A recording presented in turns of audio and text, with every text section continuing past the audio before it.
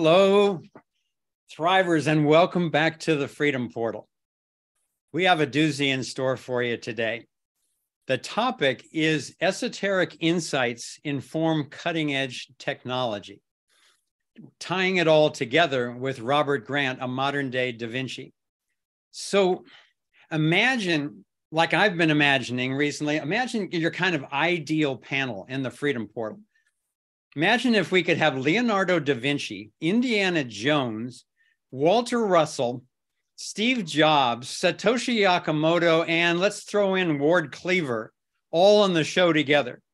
Well, that's what we've got today. We'll be talking with the many facets of the remarkable Robert E. Grant. So, Robert is uh, featured in Thrive 2. Uh, he's an action oriented entrepreneur who's been accessing unprecedented insights into the structure and process patterns of the cosmos, and then grounding the principles that get revealed in breakthrough technologies for encryption, data sovereignty, and much more. Robert is the founder, chairman, and managing partner of Strathspey Crown LLC, a growth equity company based in Newport Beach, California, with a broad portfolio of company and asset holdings spanning healthcare, clean energy, social media, and financial technology. His other interests include number theory, mathematical physics, geometry, cryptography, and blockchain currency. And most importantly, according to Robert, who seems to have his priorities pretty straight, he's a loving husband and father to two wonderful daughters. So, welcome, Robert. Join us, please. Turn your camera. Hi, Foster. It's really great to see you again. Thanks so much for coming on on a weekend. First of all, I know how important that is to your family. So thanks to your whole family for for the loan for a couple hours here. And also, I understand that it that you had your uh, company holiday party last night, and that's yes. tradition. That's traditionally uh, quite an event. So the fact that you've dragged yourself in here. If you're only thinking at Mach 6 today, we'll understand. so well, yeah, no, doing, we had Robert? a we had a great we had a great night last night. We had a big celebration. We had some really big news this uh, this last week in one of one of our companies. So it was uh it was definitely you know our Christmas parties are pretty pretty well known. Um, and we definitely have a great time. It's always important to celebrate, particularly you know whether you've had a challenging year or you've had a very successful year or both uh, i think yeah. you know, celebrating success is such an important thing and, and also celebrating togetherness especially at this time of year well thank you so much for coming on and welcome to all of the people uh, our regular subscribers plus the uh, large groups on the public platforms we're streaming on rumble Odysee, Rokfin, Telegram, Facebook. I understand that Robert is also streaming out on Instagram. So we're, we're getting the word out there on this conversation today. And uh, Robert, I know you like a challenge and you're an expert in compression. Mm-hmm. So our task today is to compress the entire cosmos and the whole sweep of history into about an hour and a half and then have some Q&A at the end of that. So okay. Uh, uh so everybody fasten your seatbelts because uh, you know listening to one comprehensivist is challenging enough and your subscribers are doing that with me all the time you bring two together mm-hmm. and it's going to be a, uh, an epic opportunity I, have really been excited about this conversation me so, too me too in addition to all the knowledge that we're going to explore um, I really like to get personal on these shows because people know figures like you as public figures and the things you've done and things you know and so forth. But I also like to to give people a kind of a glimpse behind the curtain into your life. You know, you said a thing, an interesting thing on a call recently. I heard you say, uh, we each have our own encryption to decrypt and mm. discover mm. who we truly are. And boy, mm-hmm. that really really resonated with me. So I want to start right at the core of everything and ask you, what is your purpose in life these days? Well, you know, I, I, I I think it's something that I have. It's probably always been the same, but my understanding of it has evolved, and in particular, in the last few years, I think it's dramatically evolved. You know, I was living life and and living in this sort of 3D world, I guess 3D, 4D world, if you include the time matrix of it. And I've always been fascinated by, you know, the notion of what time is and our experience with it. And I came to the conclusion several years ago that, you know, our comprehension of time is directly tied to our experience with it. So I realized that when I was younger, one year seemed like a really long time. And as you get older, one year goes by really fast. And I realized, well, if I'm only one year old, one year is a whole lifetime. And if I'm 50 years old, it's only 150th. So it definitely seems to go by faster. But I think, you know, I was kind of living life and I had probably a very lucky and successful career. And at, at a certain stage, I started feeling like I was a bit on a hamster trail. You know, I had a big crisis in 2016. I've talked to you about this before. And I, I felt and experienced betrayal in a major way and it really broke me and it turned me into kind of a hermit for about a mm. year and a half two years mm. but out of that was one of the most beautiful things because i ended up becoming a sculptor i ended up going deep into mathematics i had to reconstruct what was the objective reality i was living because so many people had done things that i was just shocked by i couldn't believe it and and i realized then that that maybe my purpose to come here to this experience in life was to learn through the opposites of what I wanted to learn. Hmm. So, what do I mean by learning through the opposites? Well, in order for us to understand pleasure, you have to also have the contextual reference of experiencing pain. And if we are here to learn unconditional love, then we have to learn through conditional love. And what is conditional love but betrayal? Mm. And so these are the things that I believe I chose to experience. And I ultimately feel now that my purpose for being here is to, after all the complexity and all the challenge and all the accomplishment and all the failure, is to actually just learn how to love and and how to be loved. Mm. Um. Oh, yeah, let that sink in, folks. With all of the accomplishment, with all the incredible activities and opportunities that this guy has, for him also it comes back to love you know and that may be a partial answer to where what i wanted to ask you next because my experience of you and i've gotten the blessing to be around you a bunch and then watch a ton of video and go with you both physically and then virtually again to, to egypt. And what i notice is an incredible quality of enthusiasm. And you know enthusiasm comes from entheos you know in in in, god. And you're the energy and the curiosity that you seem to have uh, and the ability that you have to multitask to get along with a lot of people you know you're hugely generous with your time and your resources and your expertise and you are like i mentioned a comprehensivist you're really covering everything. So um, what's the key for you when other people are are lacking it and looking for what's the key for you to being in that enthusiasm? You know, I think I've always had this zeal for life. I mean, I'm one of these people that literally wakes up just about every day and feels like I'm so happy. and, and I remember like um, people my whole life would be like, So why are you so happy? What's going on?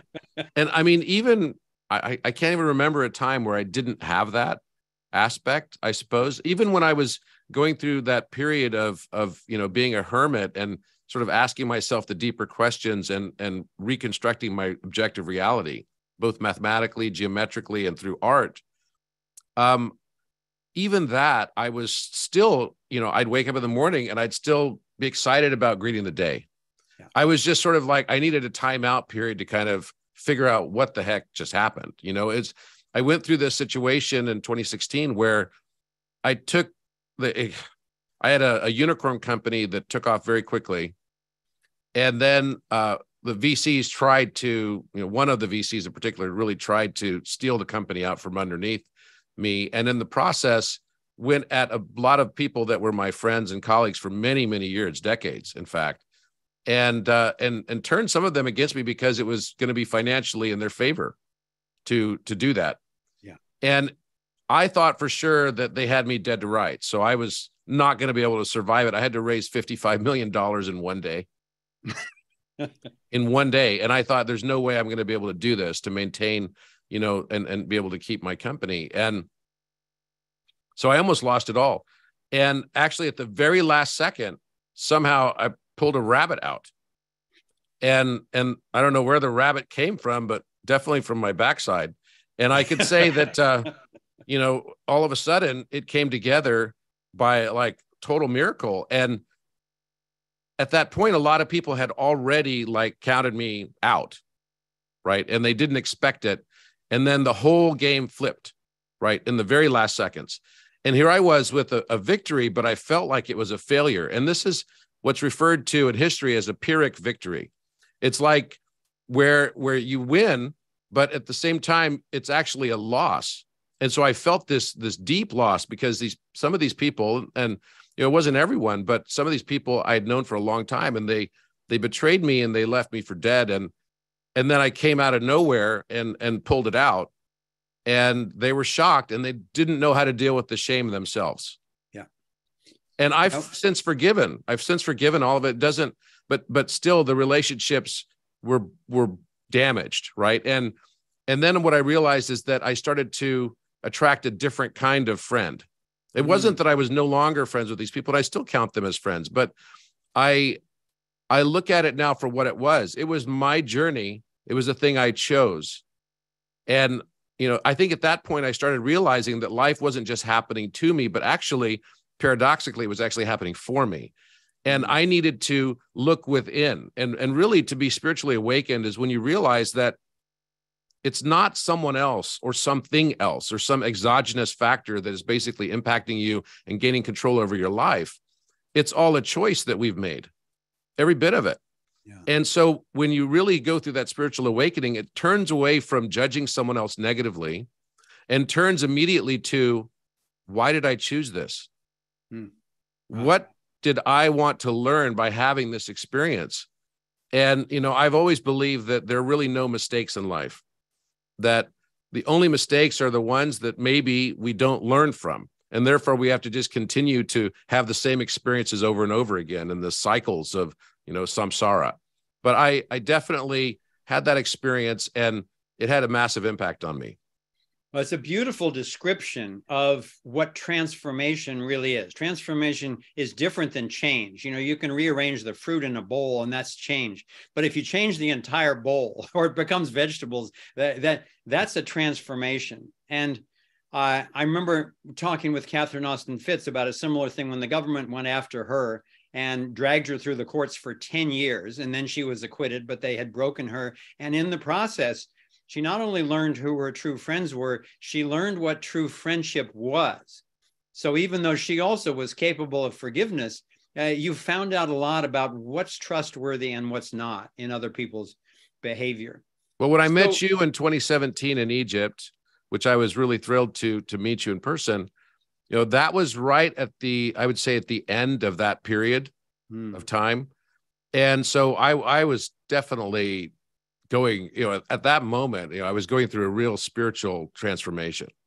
I can remember having breakfast with you several times in the hotel in Cairo and just having my mind blown by, uh, first of all, just your openness about the process that you were going through, but then about the actual process itself. And now, uh, both Walter Russell and Arthur Young were huge mentors for me, and they are each along with Nassim Haramein and Buckminster Fuller, they're what I call visionary scientists. And I would include you in that category too. And what I mean by that is, is that you're guided by visions and then you then you do the homework to fill in the science so you can actually talk to other people about what you're seeing and then to actually uh, turn those visions into artifacts that other people can benefit from one of the breakfasts that we had in cairo you told me a story about uh, a an, an, opening, a shift that you had had in uh, Hong Kong, I think it was, when you were talking with a a, a former colleague who had been on sabbatical. Uh, could you share that story sure, of opening sure. with our audience? Sure. Yeah, I, I, went to Hong Kong, and part of the job of reason I was going to Hong Kong, I was CEO of Bausch and Lomb Surgical at the time, and and I wanted to meet with this candidate who was going to become the new country manager for Thailand, but had previously been the country manager for Thailand. And we had a pretty large operation in Thailand, and we had 27,000 employees all around the world. and so I, I went to meet this person. I was also going to give a speech at this conference there, but I was so eager to meet this person because he had worked for us before and had left for five years and then had come back again. And the people that replaced him in the leadership structure wanted him back and were willing to subjugate themselves to his leadership again. So I thought this is such a fascinating story because you never see something like this in pharma, especially, right? It's a very cutthroat, competitive environment generally. And and so I remember going to the salad bar and seeing this guy, and he'd been a Buddhist monk for five years, like literally did a five year vow of silence and so I want to be the first to talk to him. And so I said, hello. and across the salad bar, I don't think we have salad bars much anymore after COVID, but but basically I, I, I said hi. And and he said hello. And and I knew I was one of the first people to speak with him since he came back. And and so I said, What was it like to be on five years of vow of silence? And I said, And what did you learn? And he said, very, very stoically, there is no duality. yeah. yeah. There is only oneness. Yeah. Wow. And and I was like, okay, what does that even mean? I didn't even understand what, you know, duality necessarily was a reference to. And then why would he say there's only oneness? And and so as I was flying home, I took out a pad of paper and I started writing down you know, I looked up the term duality and I wanted to understand it further. And I'd heard something about it before, some strange recollection of it. And I started writing down all the things that were dualistic, antonyms, right? So humility, arrogance, right? Love, fear, or possibly hatred, good, evil, all these things. And I started realizing that for things like humility and arrogance, or even Democrat, Republican, or even fascist and communist, it was actually a circle. It wasn't linear. That if you take another step, anything taken to the extreme, you could mm. take humility to the extreme and it becomes someone that actually could be perceived as being arrogant in their humility. right. And and I realized that everything is more like spheroidal or at least around a circle rather than this linear line that we're perceiving. And we could see Democrat, Republican, or you know, communist, fascist, whatever and and then you have a difficult time differentiating between saying okay someone who says they're antifa anti-fascist actually starts acting a lot like a fascist. Yeah. Hmm. and when you look through history this is often the case. The things that we judge negatively in other people are the things that we actually are. Yeah. and i realized that was most true with me. The things that i was negatively judging at everyone around me were the things that i didn't like about myself so it was a profound moment to meet this fellow because, you know, this concept of a five year vow of silence and and maybe to a certain extent i didn't do a vow of silence when i did my hermit period but i definitely went super deep inward and i didn't talk that much. Yeah. Well a little bit later we'll get into some of the things that have been coming through you some of the other things that you draw and write when you're on these airplane trips um, but I, I want to go go back in history now because you and I both share a a passion for uh, ancient history, mm-hmm. and I want to share my screen for a moment um, and show a few images, and then ask you a little bit why uh, ancient cultures are important to you. So here's our topic for the day with the pyramids in the background and some of Robert's scribblings laid over that. Here's Robert in Egypt, some of the work that he's done on the geometry of the pyramid. Uh, I don't remember which, do you remember which uh, which hallway that is? Which you know what that is? That's the uh, that is the I, I always love to say this because I always get stickers about it, but that's the the shaft of Osiris. oh, we just got banned on three channels. Yeah, exactly. Oh gosh. okay. But and it's then, a very deep shaft. It's about 200 feet that of ladder. And then this was from the trip that you led last year to Egypt, and I accompanied yep. mm-hmm. you uh, virtually.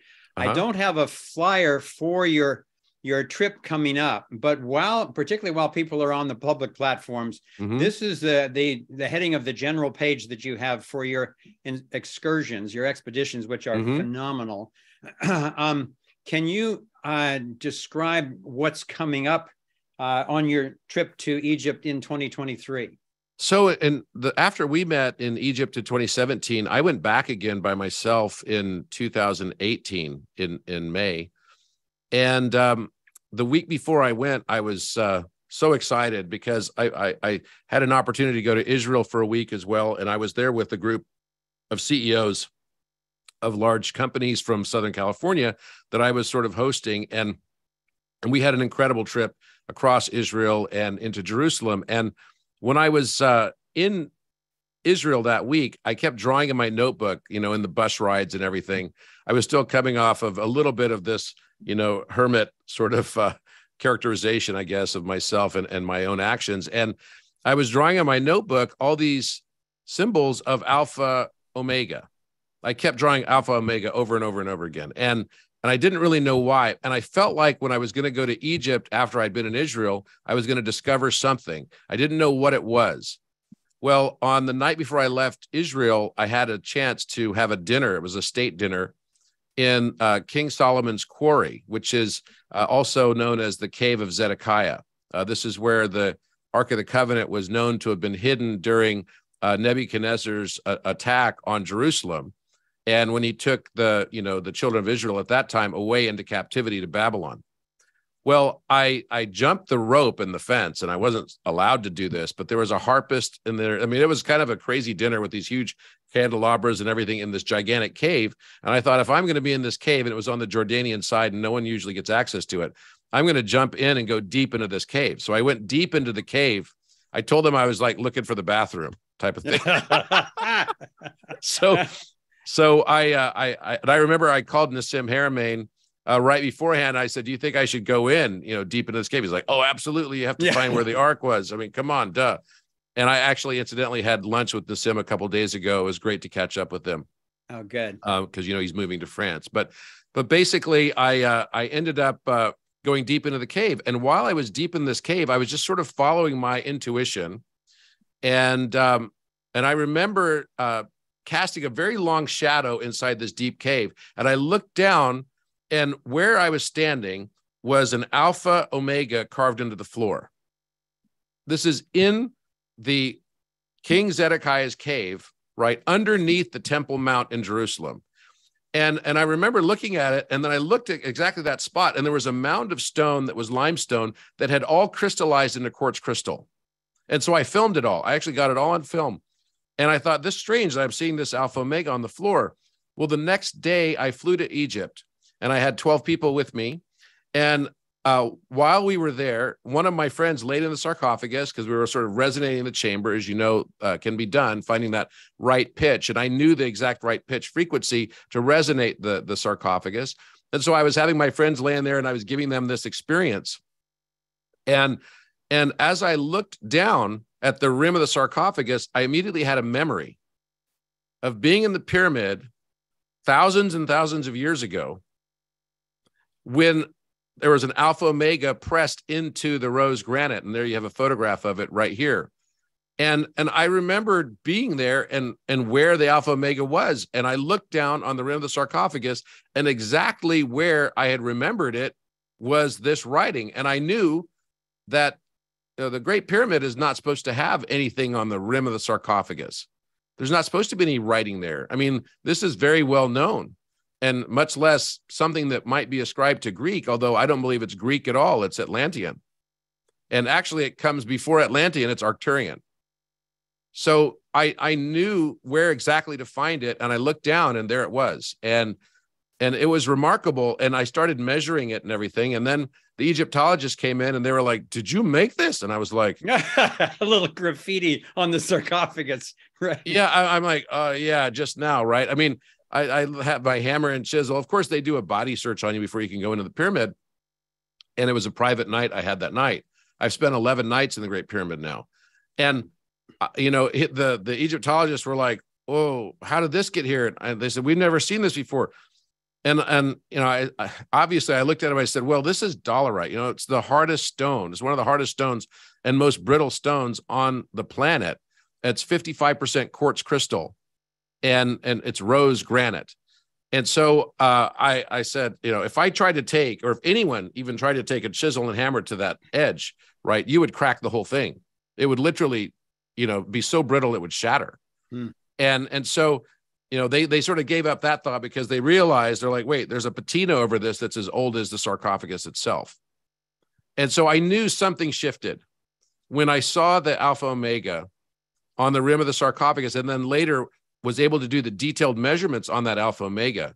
You know the, the room of the king's chamber is 31.4159 meters exactly as a perimeter measurement right?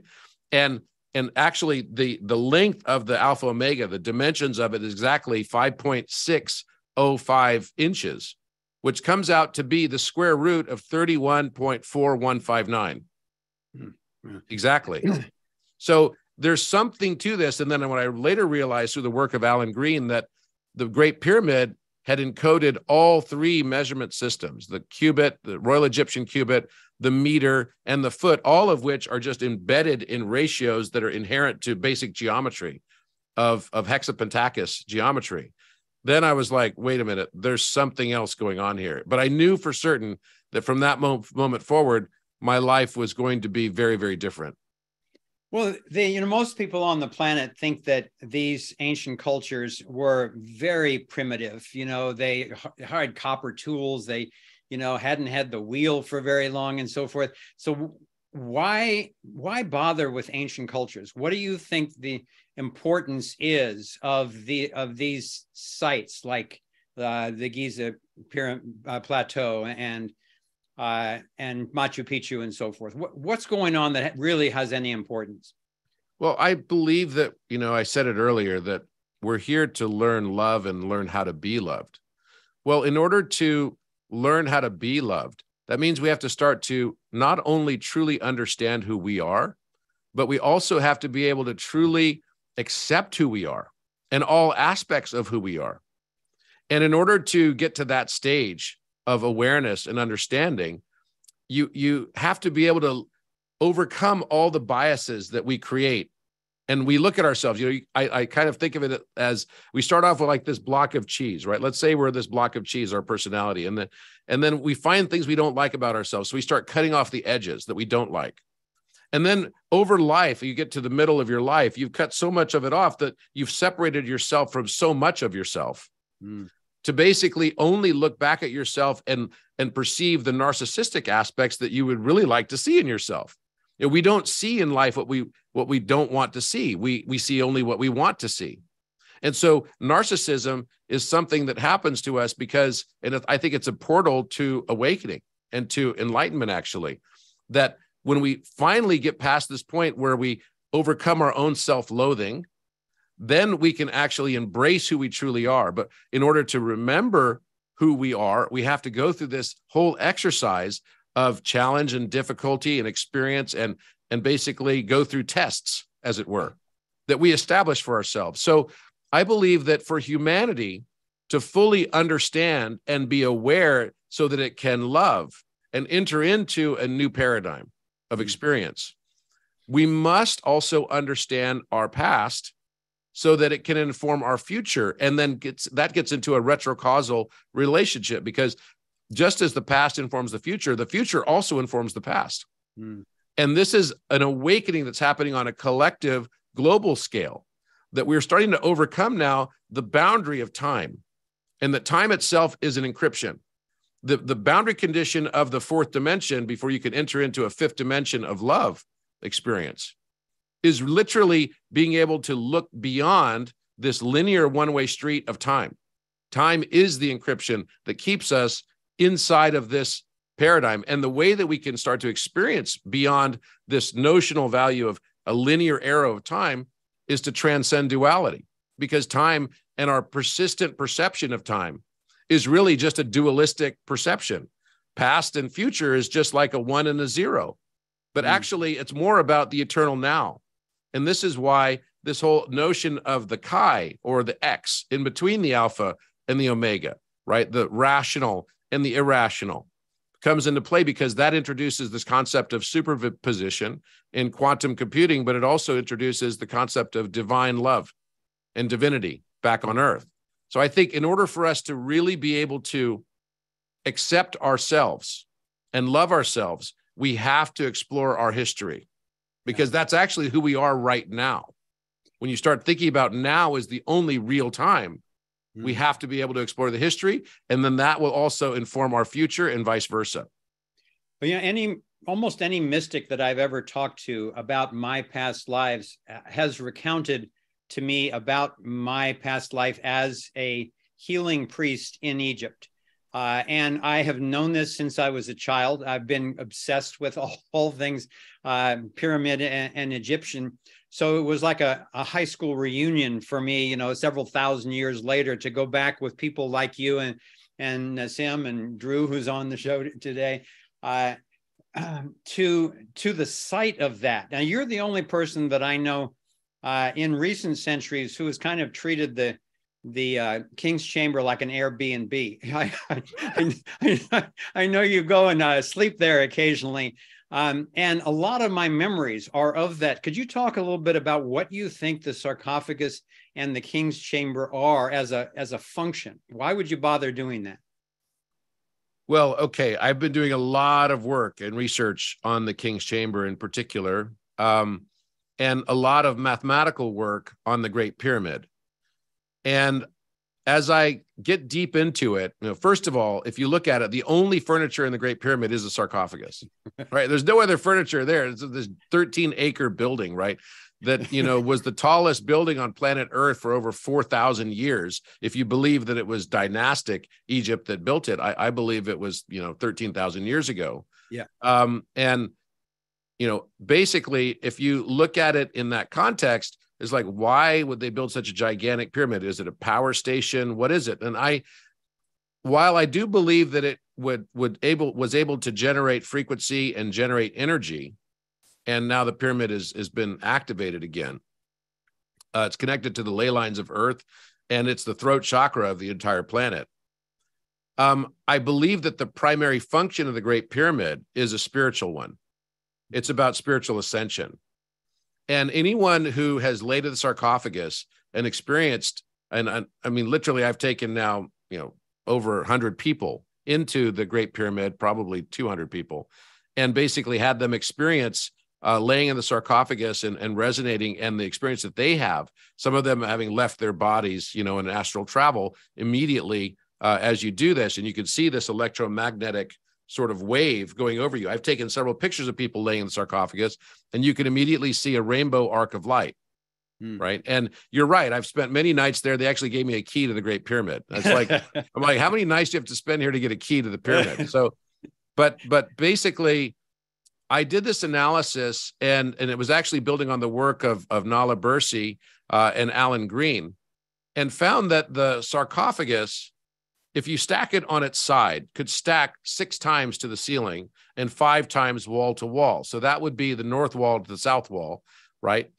And and then if you look at the amount that it would actually fill in there, so the the king's chamber happens to be like two cubes, right? It's slightly rectangular cubes. It's a little bit off, and I'll explain how what I mean by this. So it's it would be you know it's 20 cubits long and 10 cubits wide. So that means it's 17 point uh, 17.18 feet wide and roughly 34 and a half feet, right, in length. Okay. And in meters, like I said, that turns out to be exactly a perimeter value of 31.4159 meters. Now, what does this mean? Well, how many times does the sarcophagus fit into the king's chamber? It fits in there 137 and a half times. Oh my God. I never knew that. Wow which is the golden angle. So I'm yeah. you know doing the measurements of volume of the sarcophagus in the king's chamber, and if you take out the the empty space that is occupied by the sarcophagus, then the value actually turns out to be exactly 137.036 times. That's the fine structure constant in physics, which is the most important constant in all of physics because it, it represents the Higgs boson. It represents the electron coupling constant where light is separated from darkness. that literally it is the threshold or the mirror of the separation between reflection and absorption of light. Mm. Uh, so it, the way it works is if you excite an electron and it goes above a threshold of 137 times, right? Then it will emit light. If it's below that, it will absorb light from an energetic perspective. So from that standpoint, I was like kind of amazed. But there's also another thing that's really important about it. If you break the king's chamber down, I've never presented on this before, but if you break the king's chamber down and you actually cut it up into what looks like Rubik's cubes, right? But slightly rectangular because the height from the floor to the ceiling is 19.098 feet and the length, right, or the width is 17.18. So it's not exactly perfect cubes, right? It's it's actually 10 over 9 as a relationship, right? Between the two. So if it were a perfect cube, it'd be 10 to 10, right? Or 1 to 1, but it's actually 10 over 9 is the ratio. And the entire Giza plateau is 11 over 9, which has big significance when we look at light speed and everything and I, and I can talk to that if you want me to but but basically if you break this down into two Rubik's cube sets that would mean you'd have nine cubes that would be smaller on each side. You're basically breaking down the room right into cubic forms. And with 9 and 9 and 9 you then have 27 cubes for half of the room and then you'd have 54 cubes. But then if you break those cubes down into eight smaller cubes each that means you have 432 cubes in the king's chamber. And then this is giving us a perfect representation of three over two, the perfect fifth, and the and the major third, which is the cube root of two. So why 432? Well, guess what? If the sarcophagus fits in the king's chamber 137 and a half times, and that were to represent a diameter of a circle, guess what the circumference of that circle would be? 432. Oh well. Well, let's so take the math. So the math is accomplishing something because they mm-hmm. obviously mm-hmm. knew what they were doing. They were able to lift blocks that we can't lift today. So there was something going on there. But let's take it back to the, what you were talking about about the spiritual function. So all of this would seem to be have to do with resonance. So uh, I I have recollections myself and a lot of my studies, a lot of the people that I have studied believe that the sarcophagus was part of an initiation in terms of yeah. i mean the the the ark of the covenant apparently fits in there perfectly but when the ark's not there the the the uh and someone lies down in there and is resonated by the um by the vibrations of the schumann resonance passing through the entire pyramid what would be the purpose of being resonated that way spiritually? Well, first of all, I think that you have to kind of look at the science behind the room to a certain extent because the speed of sound in air is 343 meters per second. But the speed of sound through granite, and that entire room is made of granite and rose granite, is 6,000 meters per second. So it'd be almost like, from a comparison perspective, if we could speed up the speed of light, you know, uh, in the same way, we'd have to speed up the speed of light 17 and a half times. Mm. So the speed of sound is 17 and a half times faster in the Great Pyramid's King's Chamber than it is anywhere else. That seems to be kind of important, right? And, and so when you lay inside that sarcophagus, you've got these scalar waves and compression waves, longitudinal waves going through you, right? Very, very rapidly and it has some effect on your kundalini it also has a major effect on and that's the spiritual life force right that basically say sits dormant at the base of your spine mm-hmm. until you start going through this initiation process and actually if you look around the king's chamber walls there are secrets hidden within them not only in the mathematics but in 432 by the way is the tetractys number so 432 you've always probably heard of the tetractys and the tetragrammaton. Mm-hmm. It goes four dots, three dots, two dots, and one dot. You complete the pyramid, and hmm. four times three times two times one equals 24, right? And so 24 is the prime number pattern as well. And, and so then when you add them up, four plus three plus two plus one, it equals 10. So he's got this unique characteristic embedded already in the geometry of the room. But if you look at the petroglyphs that we've discovered on the walls, so not only have we discovered the Alpha Omega on the sarcophagus, but we also discovered many, many other petroglyphs all around the sarcophagus itself. There's an eye of Horus, there's an eye of Ra on exactly the same position on both sides. There's also what looks to be a uh, which is a particular type of a geometric polytope, which looks like a almost like a bullseye on the backside, right underneath where the large crack is that's shaped like a Y. And then on the walls, um, you know, Susie discovered when we were there a bull and a cow directly on the north wall that you can't unsee once you see it. and that bull and cow is clearly etched into the, the the the granite of the walls. And this represents it's well known in Egypt you know Egyptology that this bull represents the Apis bull. And the name of the great pyramid was originally Bull Mountain. Hmm. Right? So well, let me let me keep pressing you beyond the archaeology and the math to the human part of this. They built this giant thing and if it was part of an initiation for what? What what would a human being experience in that resonance that would be important so the apis bull is actually a reference to osiris uh-huh okay the cow around him is the hathor represented by the Omega. If you've ever seen the Hathor, the Hathor has hair. It's like a cow's face, like a female cow's face, with the hair that's shaped exactly like the Omega shape, right? You've seen that before. Yeah. Well, this represents Apis having to sacrifice himself, or Osiris sacrificing himself to return back into oneness into his mother, right? And this is a story that is well known in Egyptology. But we go beyond this to understand that Apis and Osiris and Orion in Greek mythology are all the same reference. They're all the same person. And actually, even Zeus, this is why we have this, this thing called Serapis, right? So the Serapeum, we went to the Serapeum together. That's actually a name that has been ascribed to the mashing together of Osiris and Zeus into the mm. same god, right? So Serapis is that god. Also can be referred to Seraphim, which is an angelic billing, a being, an angelic being, like Metatron would be a seraphim, right?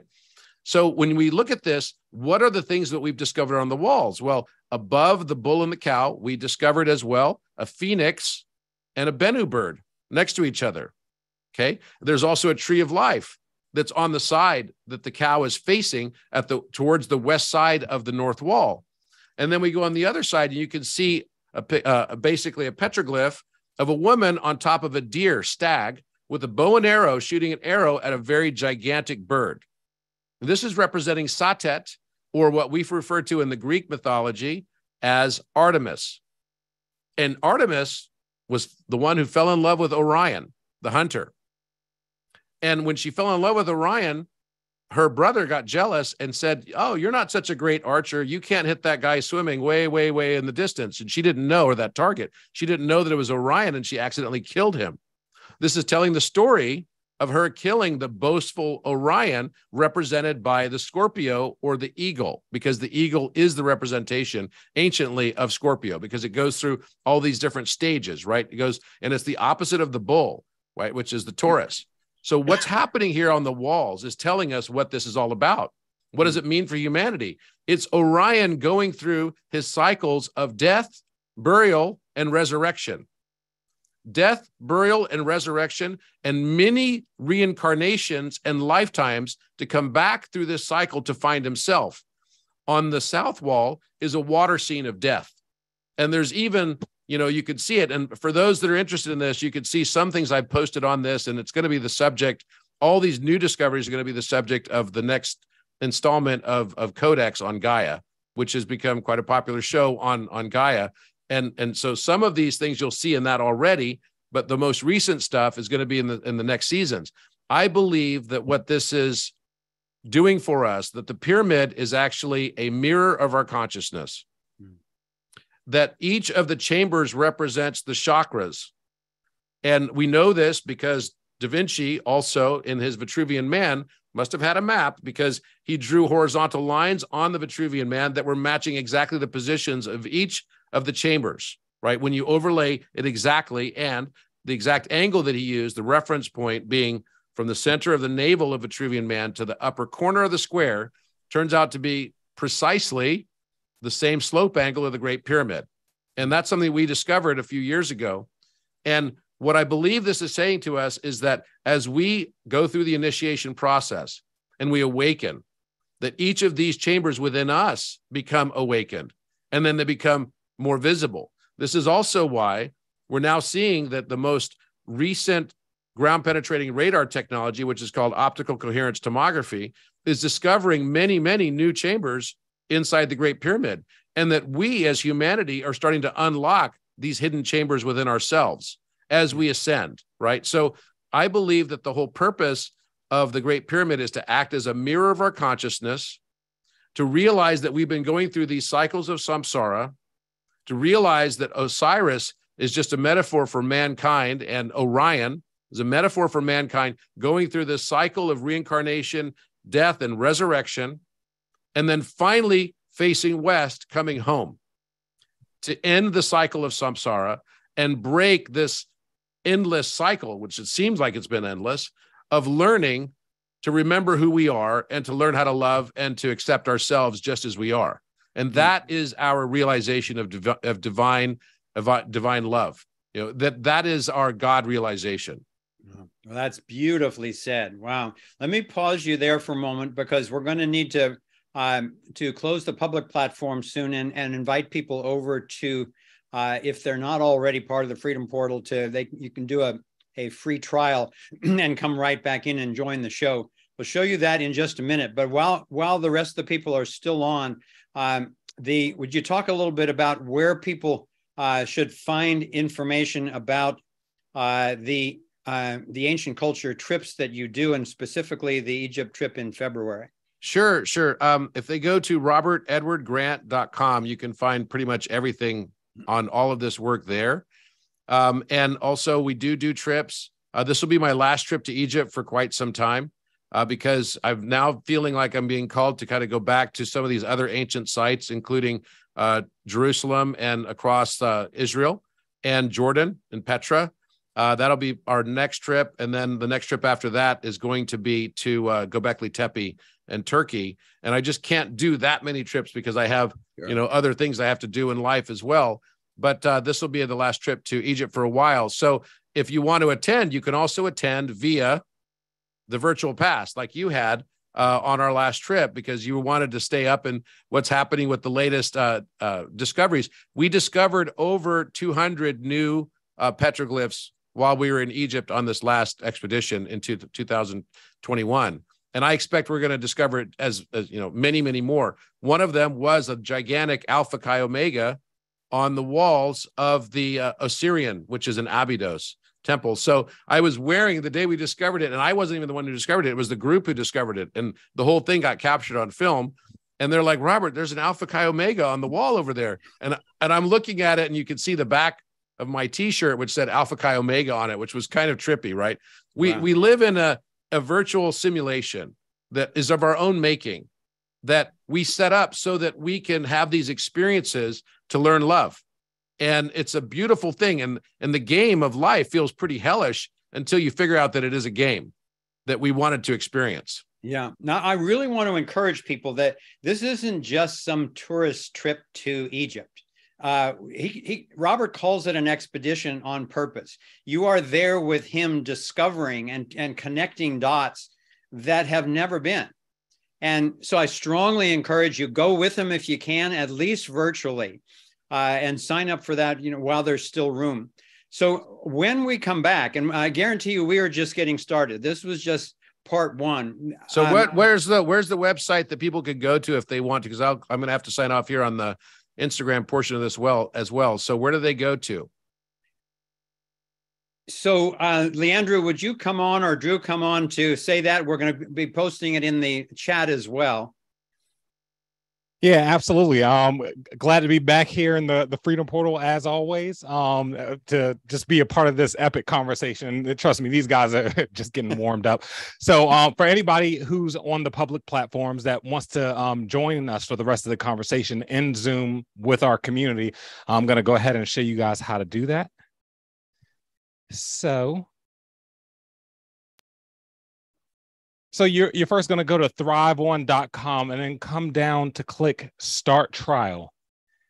and that's going to take you to the page where you can select uh, your your level whether you want to be an explorer or an angel and um, your time period whether you want to be billed uh, monthly or annually and uh, once you click start trial um, of course, we're going to need your card like uh, any subscription, um, but it's a free trial. If for whatever reason you decide that you don't want to continue to be a part of our community, um, you can cancel at any time. But I'm certain you're going to want to stay um, once you see the both the quantity and the quality of these epic conversations that we have in the portal. So um, you'll be taken to the thank you page after that, and you can click return to the Freedom Portal catalog.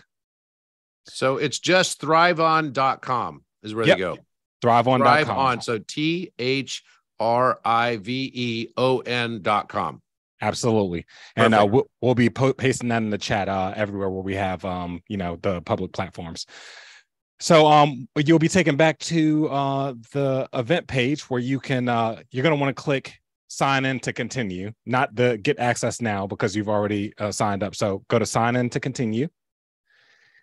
Um, enter the credentials you just set up with us and it'll take you back to um, today's event where you can click attend.